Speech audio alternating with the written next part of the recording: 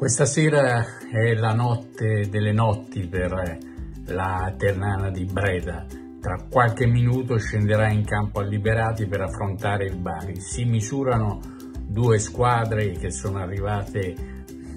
nella zona calda, precipitate nella zona calda della classifica in maniera abbastanza sorprendente, almeno per quello che si poteva intuire all'inizio del torneo per cui veramente sarà una battaglia senza esclusione di colpi. Si misurano due città importanti, Bari eh, ha 316.000 abitanti, è il comune della zona adriatica più popoloso d'Europa, tre volte più grande della città di Terni come numero di abitanti, quindi mh, mm, sono due eh, città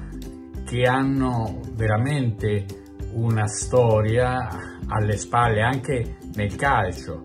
quindi sarà, ripeto, senza esclusione di colpi, al primo sangue, come, non al primo sangue, all'ultimo sangue, come si diceva una volta nei duelli che finivano con l'uccisione di uno dei due contendenti. Breda sembra abbastanza sicuro del fatto suo e invita i suoi giocatori a esprimersi nello stesso modo, con la stessa aggressività che hanno avuto al San Nicola. Eh, Giampaolo, l'allenatore avversario, ha, devo dire, un pizzico di paura. Mi sembra curioso il fatto che abbia chiamato tra i convocati altri tre, eh, sia pure giovani attaccanti, praticamente tra centravanti ed esterni sono dieci nella eh, rosa di convocazione dei giocatori dei Galletti, i, eh, gli attaccanti eh, come se ci fosse una estrema, e in parte è vero questo, un'estrema necessità di fare gol con, eh, per sopprimere eh, le speranze della Ternana. Gara quindi di fronte a 13.000 spettatori che sono più di un terzo eh, di quelli che si sono visti erano 33.000 al San Nicola, quindi facendo i rapporti tra gli abitanti di Terni e di Bari eh, la risposta in percentuale è più alta quella di Terni che non quella eh, barese, però ripeto sarà una partita di grande spessore e si spera anche bella. Eh, per quanto riguarda il Perugia c'è stato lo sciogliete e le righe, eh, se ne andranno via tutti i giocatori in prestito ovviamente ritorneranno alle proprie società,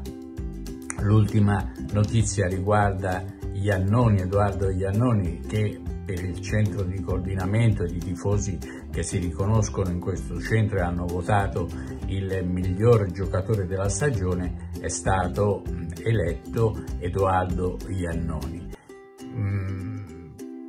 Per qualche altro giorno, fino alla fine del mese, i contrattualizzati che sono rimasti in pochi si potranno allenare al Perugia e poi